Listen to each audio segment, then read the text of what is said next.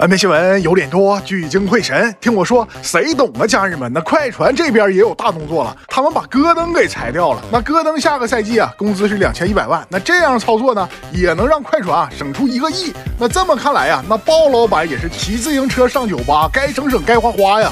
那戈登油箱里啊，那肯定还有油，只要说不让他胯下运球啊，那突破三分也是嗷嗷猛。估计戈登很可能是底薪啊，加入湖人，因为加入湖人那钱多事少，离家还近，那别说不用搬家了，就连那更衣室柜子呀都不用搬了。快船虽然说放弃了戈登，但是他们也是追逐哈登的一匹黑马。这小如意算盘啊，都让快船给打冒烟了。其实登哥的家乡啊也是洛杉矶，很可能会选择打家乡篮球。那登哥加小卡和乔治的组合呀，那快船都得变成飞船。兄弟们，那计划有变了啊！快船休赛期，那马上又要夺冠了。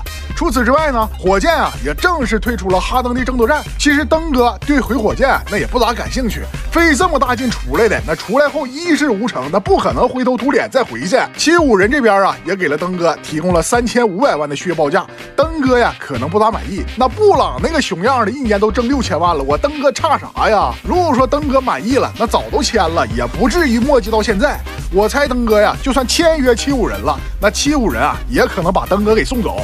火箭虽然说放弃了哈登，但是他们想用两年八千万签下范乔丹，想用一千五百万签下迪龙。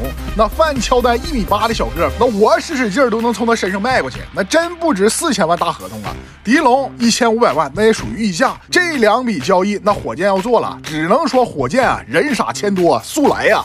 雄鹿这边呢也有了大动作，他们用四年一点四亿续约了米德尔顿，平均每年不到四千万。这米德尔顿啊也属于降薪续约了。虽然说他上个赛季的状态有所起伏，但是雄鹿要真把他送走了，那就直接退出争冠行列了。只要说米德尔顿和字母哥保持健康，那下个赛季的雄鹿啊还是争冠热门。